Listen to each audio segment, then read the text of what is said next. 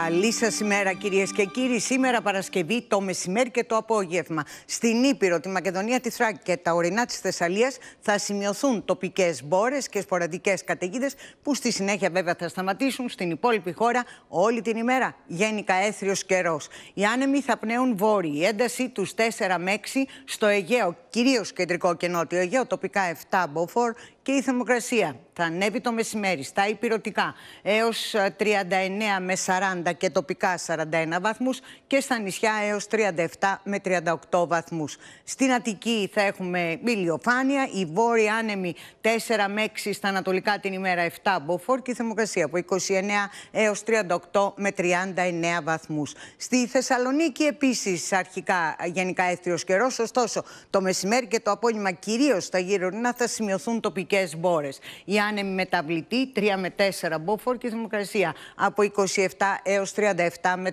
38 βαθμούς. Γενικά έθριο ο καιρός το Σάββατο, ωστόσο και πάλι το μεσημέρι και το απόγευμα στα βόρεια υπηρετικά και κυρίως στα βόρεια ανατολικά θα σημειωθούν τοπικές μπόρες. Η βόρεια άνεμη στο Αιγαίο μέχρι 6 μποφόρ, στο Ιόνιο μέχρι 5 και η θερμοκρασία το Σάββατο θα αγγίξει στα υπηρετικά τους 38 με 39 και κυρίως στα δυτικά έως 40 με 41 βαθμούς. Κυρίες και κύριοι, καλή σας ημέρα.